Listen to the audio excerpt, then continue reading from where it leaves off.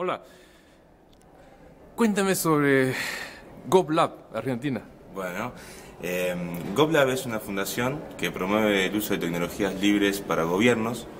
Eh, básicamente GovLab eh, tiene injerencia sobre tres áreas de interés, que es bueno, el gobierno electrónico, el gobierno abierto y los datos abiertos. Nosotros encaramos esas temáticas o problemáticas desde varios lugares, es un equipo multidisciplinario, de, en este momento 16 eh, personas trabajando, eh, especialistas en, bueno, en distintas ramas de, la ciencia. ¿no?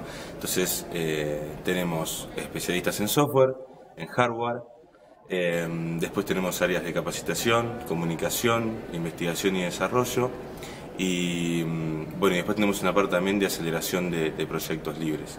Eh, en este momento GovLab está trabajando con una serie de experiencias y proyectos, está trabajando en todo el proceso de em, digitalización del proceso parlamentario en el Congreso de la Nación en Argentina, está trabajando también en una serie de, proyectos en el Poder Ejecutivo, em, en el Ministerio de Industria, eh, está trabajando también con iniciativas propias, una que es nuestro bebé, digamos, eh, predilecto, es una aplicación de presupuesto participativo, eh, hecha íntegramente en, código abierto, que bueno, estamos definiendo los últimos puntos ya para hacer la primera implementación. no ha sido lanzada todavía. ¿Eh? No ha sido lanzada todavía. No ha sido lanzada todavía, no, no, no, no, no. Eh, los procesos de presupuesto participativo difieren muchos de una localidad a otra. Oh. Lo que está en este momento es un core principal, tenemos básicamente los procesos ya delimitados del presupuesto participativo, pero en función del lugar donde se vaya a implementar, en definir, en, finalmente va a ser donde tenemos que hacer la adaptación final.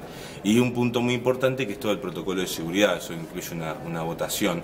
Entonces eso lleva mucho tiempo porque además de las encriptaciones y todas las cuestiones que tienen que ver con la seguridad del software, está lo que tiene que ver con los protocolos de seguridad del manejo de esa información, de los procesos de votación, etcétera, para evitar cualquier tipo de fraude, este, bueno, en el proceso, ¿no? Y dime, ¿cómo ves el resto, o sea, todo el ecosistema del Open Data allá en Argentina? Bueno, en Argentina el ecosistema del Open Data es, eh, la verdad, eh, creo que sigue las tendencias de, América Latina en cuanto al empuje que hay desde la sociedad civil, del tercer sector y, del sector privado. El gobierno hace lo suyo también, eh, publicando algún tipo de información. hubo un proceso de ley que, bueno, no, terminó en buen puerto, y yo creo que por buenas razones. Básicamente en Argentina lo que está pasando es que primero nos falta digitalizar los procesos de gestión del Estado antes de abrir los datos. Con esto quiero decir que si uno va a un ministerio todavía va a encontrar expedientes en papel y muchos trámites y, cuestiones que están en formatos físicos.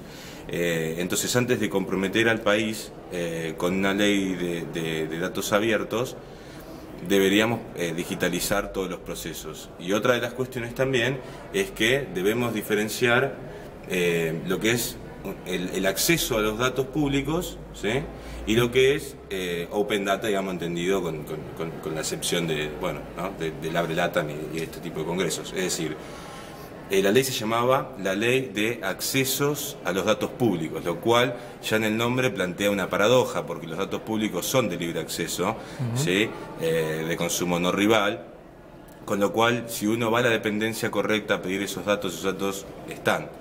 Em, ahora bien, que esos datos estén en Internet es otra historia. Entonces, uno em, como ciudadano nos puede exigir, pero también tiene que pensar que el Estado tiene que hacer frente a un montón de necesidades y que cuando invierte, tiene que invertir el dinero público en beneficio de la mayor cantidad de gente o de toda la gente en lo posible en su conjunto. Entonces, si yo invierto en digitalizar el Estado, esa información que yo provea, esa open data, tiene que ser entendible también por todas las personas. Si yo pongo una base de datos colgada en un sitio o pongo un RCS, eh, mi tía o mi, o mi abuelo no van a entender de qué se trata eso. Yo tengo que, como Estado, si invierto en un proceso de digitalización, esa información la tengo que brindar de forma entendible para todos.